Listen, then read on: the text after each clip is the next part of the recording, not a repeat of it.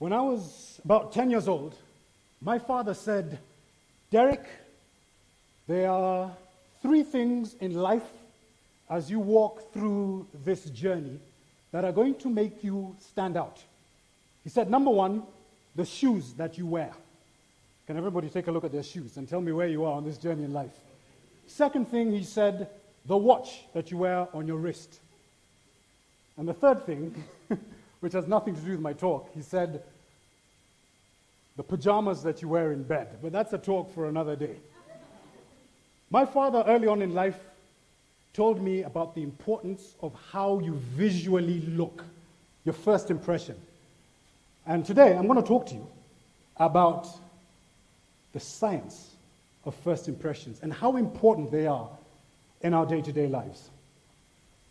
You know, if you fast forward 20 something odd years later, I now work with professionals, helping them to be seen for the right reasons, helping them with their image, helping them in terms of how they communicate, how they communicate not just in terms of speaking, but visually. So, my name is Derek Bbanga, and some people say I'm an image consultant, but I'd like to think I'm a little bit more than that. If I show you a picture of that gentleman there, what do you think he does? What is your first impression of that man? Right. Yeah, fog, all of that. He's actually he's actually a Harvard graduate. Here's another picture. What do you think that lady does? What's your first impression? What does she do? Teacher, maybe works in a salon, doing nails or hair. She's also a, uh, a graduate of a major university. There's another picture. What do you think that gentleman does? Student? Possibly. He's actually a multi millionaire, having created many apps that you and I use every day on our smartphones. So, our first impressions right? Do we go on with our first impressions that we have? Robert Cialdini, who's a famous professor, he's a motivational speaker and an author as well, in this seminal book about influence, talked about how the brain works. You know, the brain is a remarkable organ. It is the smartest organ in our body but it is also the laziest. It's smart. Why? I mean, just look around us. The fact that how we have evolved as human beings and the fact that we're living in a new millennia with all these wonderful technological advances that have made our lives so much easier. That's the power of the brain. But the brain, when I say it's lazy, also makes decisions not only very quickly, but very easy. I mean, think about milk that has spilt on the ground, right? If you spill some milk on the ground and maybe it's cobbled or there's cracks of paper, the milk looks for the easiest path to flow. That's what the brain is doing when it meets somebody or something for the first time. It's looking for an easy way to make a quick decision. Now, some people have argued that this is to help us propagate the species. In other words, is that person who we're meeting friend or foe? But I would argue that the brain is actually just trying to make our lives easier. Put us in categories of yes, maybe, or no. And you know it. You meet somebody, and instinctively, something tells you that this person is competent, honest, relevant, sophisticated. I mean, all these values are associated with a particular person when we meet them in the first few seconds. That's the brain. I want you to turn around to your neighbor and just ask them, What did you think of me when you first met me? and that's a rhetorical question which you'll answer later because I have a time limit that I'm under. Yes, no, or maybe. Yes, I'll do business with you. Maybe I'll do business with you. Oh, no, I don't think I'll do business with you. And here's the thing human beings are unfailingly polite. So even if our instinct is to say, I don't trust you, I don't believe you, I don't like you, very often our social norms, the way we are culturally brought up, and we'll say, you know, yeah, I'll give you a chance. I'll go out on a second date with you. Even though you're saying to yourself, there is no way on God's green earth that you and I are ever going to have a long term relationship. Cialdini also talks about this thing called the halo effect. The halo effect, where certain qualities are given to a person when we meet them based on that visual impression that they give us, but additional, additional qualities. So somebody might come across as perhaps very smart. Visually, you like the way they look. And then, in addition to that, you will also think this person is honest, this person is competent. In fact, many relationships are built on this. we know that there is something perhaps not wrong, but there's a problem with our partner. But because that first impression, we found them perhaps very attractive, that overrides everything else that tells us that there may be something wrong with this particular person. And instead, we look at them as this is the most brilliant, honest, truthful, trustworthy person. Another professor by the name of Mehrabian talked about the visual image being 55% of our judging people. We, are, we meet somebody, and 55% is simply based on what we see body language, dress, nonverbal communication. So, in Paris, Paris is in the news obviously for the wrong reasons today, but in Paris, about a year and a half ago, some people decided to do this experiment. At the same spot, two men, actors, one of them dressed in a business suit, pretended to have a heart attack and collapse. Guess what? In seconds, people rushed to his aid. Are you okay? Is everything, you know, is everything fine? Another actor, dressed up as a homeless person, same scenario, pretending to have a heart attack, collapses. And this is a very famous YouTube video. 10 minutes before anybody bothers to find out what is wrong with this person. Visually, we are making impressions, or people are making impressions on us based on what we see. So that's the Mona Lisa, iconic painting. If you were to look, and great thing about this painting is that it doesn't matter at what angle you look at it for, the eyes follow you. But there is something called the Mona Lisa effect. If I was to that painting, can anyone tell me what was the color of her dress? Or what was the color of the background behind her?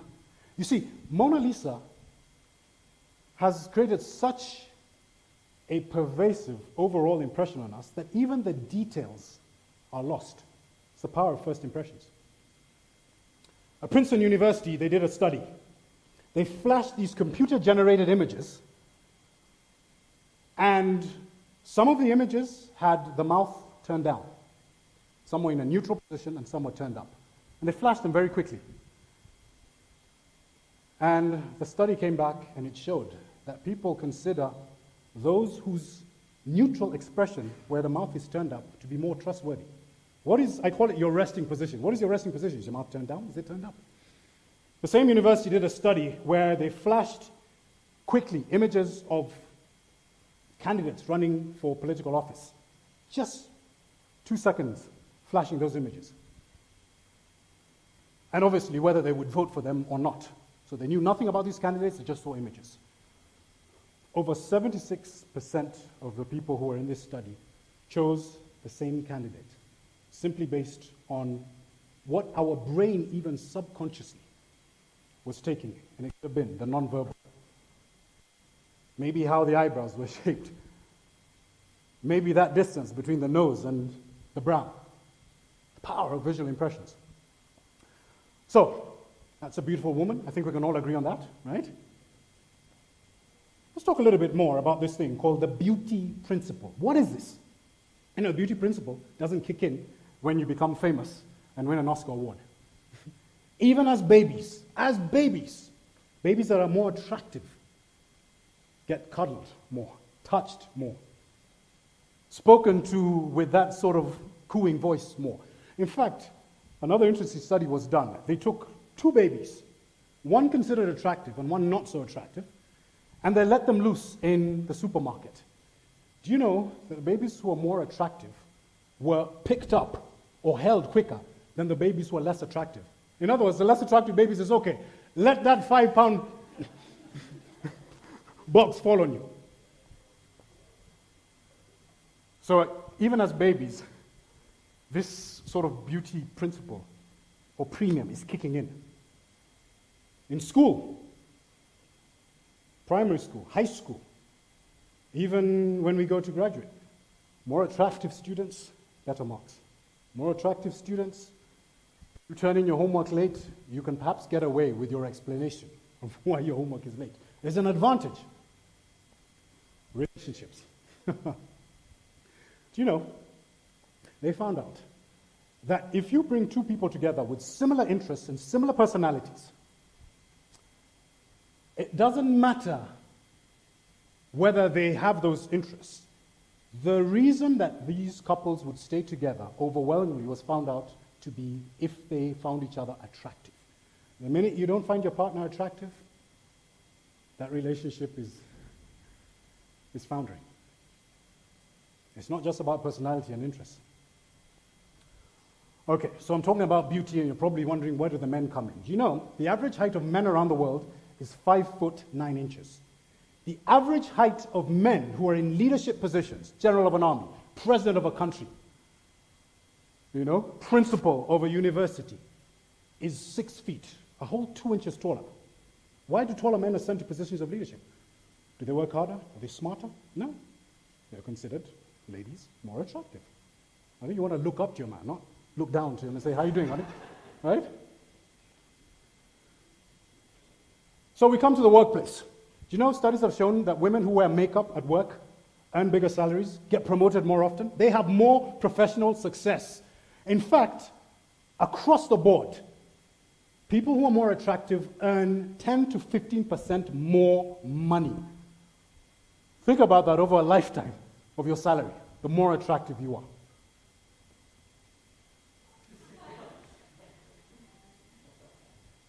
Defendants in court the less attractive you are, the harsher the sentence. And the reverse is obviously true. The more attractive you are, the lighter the sentence.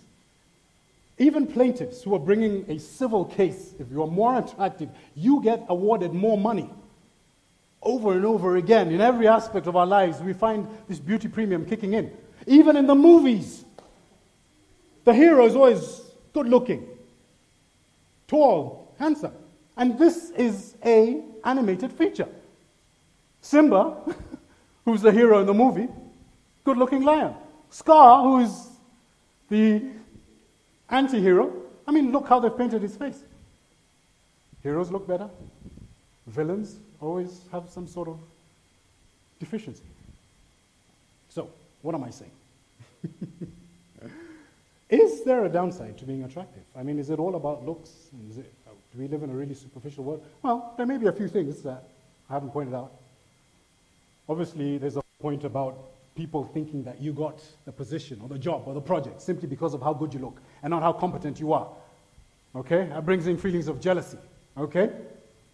In fact, even doctors will diagnose good looking patients differently. They will think there's nothing wrong with them. You can't be that good looking and have a problem. Cancer is not in you.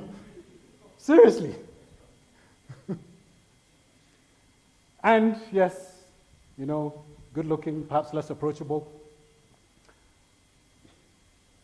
Here's how I want to conclude my talk. We're all wonderfully and fearfully created. And it doesn't matter how sharp your cheekbones are, or how strapping or tall you are, the one thing that makes people attractive is one word and it begins with E. And going through life like this, whether it's work, whether it's school, and that is enthusiasm.